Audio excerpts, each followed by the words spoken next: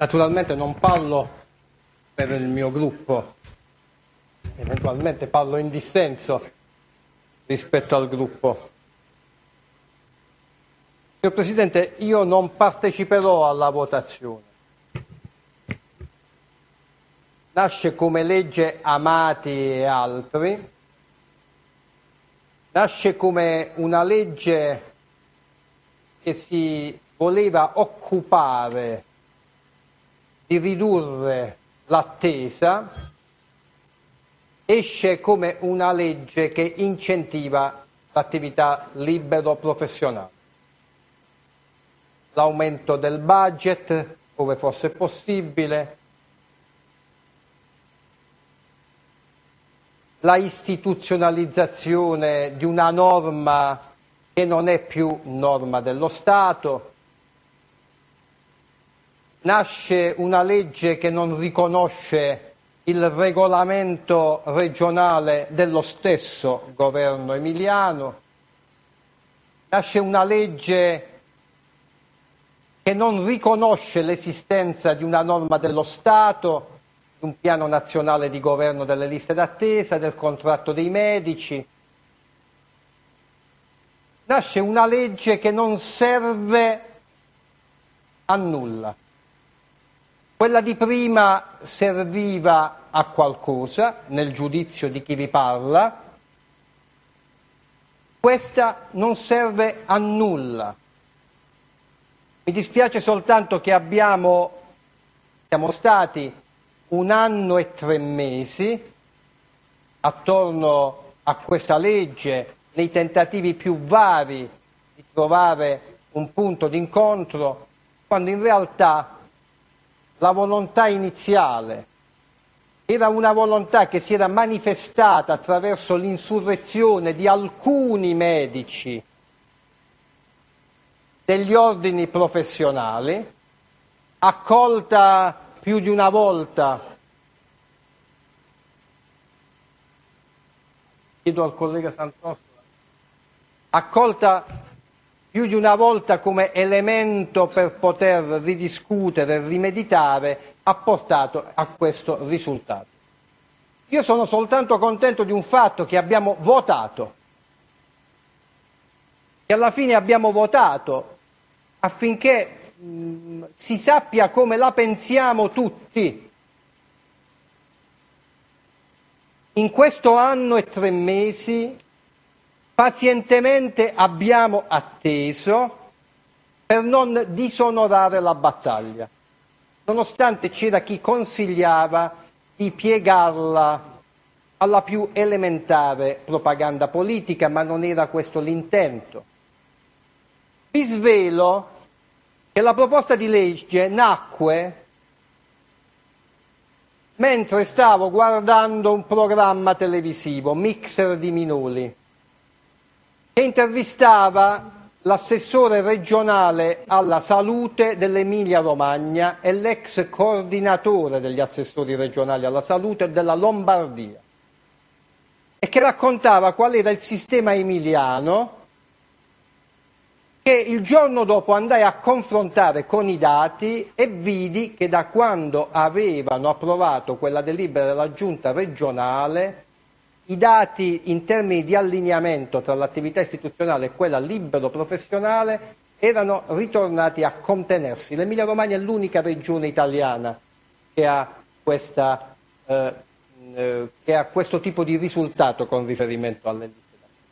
E di lì pensammo di proporre, senza avere nessuna riserva mentale, anzi vi posso dire che quando ci ritrovammo per sottoscrivere la, le- la legge, nessuno di noi avrebbe mai pensato che questa legge, che in qualche modo è anche banale nel suo meccanismo, avrebbe prodotto tutta questa fibrillazione. Di questo ci dispiace, ci dispiace e mi dispiace tantissimo, perché questo argomento poi è stato piegato, stato piegato alle interpretazioni più varie di tipo e di rango politico, quando in realtà da parte nostra come anche il Presidente del Consiglio regionale sa che abbiamo partecipato a tante riunioni, da parte nostra c'era soltanto l'intento di metterci dalla parte dei cittadini in fila al CUP.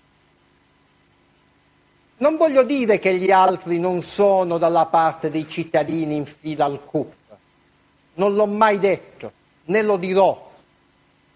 Però trovo alquanto bizzarro che una norma statale, una legge dello Stato, una legge dello Stato, in un paese a legalità formale, dove la legalità non è soltanto, che so, l'intervento con riferimento ai fatti di mafia, di camorra, di terrorismo, non è soltanto con riferimento a quei fatti, certo quelli maggiormente, ma la legalità è il rispetto delle norme sempre. Chi di voi può dire, senza il rischio di essere smentito, che in Italia non esiste una legge che impone di tenere allineati i tempi? Chi di voi si alzi? Si alzi e dica no, non esiste questa norma, tu stai raccontando sciocchezze. Chi di voi può dire che non esiste un piano nazionale di governo delle liste d'attesa che individua questi rimedi? Chi di voi può dire che non esiste il contratto dei medici che prevede questo rimedio. Chi di voi può dire che il regolamento regionale non prevede questo rimedio? Da domani mattina noi sfideremo il governo regionale sulla applicazione della disciplina molto più irragionevole nella sua severità contenuta dal regolamento vigente. Perché da quando abbiamo avviato il nostro percorso, noi adesso sappiamo quali sono i numeri e dove andare a prendere i numeri quando servono, quali sono le retribuzioni dei medici in istituzionale e in libera professione, azienda per azienda. Noi sappiamo qual è l'azienda che non ha mai redatto il bilancio analitico e separato sull'attività libero professionale. Noi sappiamo, grazie a uno studio, e ringrazio del servizio studi del Consiglio regionale, ringrazio i suoi componenti, noi sappiamo che l'attività viene svolta in passivo, signor Presidente e signori assessori, da parte delle ASC.